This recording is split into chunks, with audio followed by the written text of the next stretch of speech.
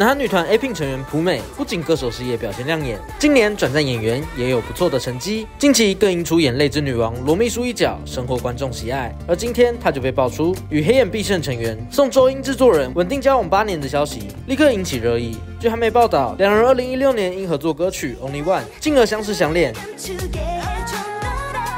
而稍早，朴美也透过手写信认爱，表示两人合作多首歌曲后，互相产生好感，并稳定交往至今。也大赞男友是一位有智慧又英明的人，两人在一起能够相互成长。最后也向粉丝承诺，未来会展现更好的样貌给粉丝。朴美的恋情曝光后，粉丝们也大方留下祝福。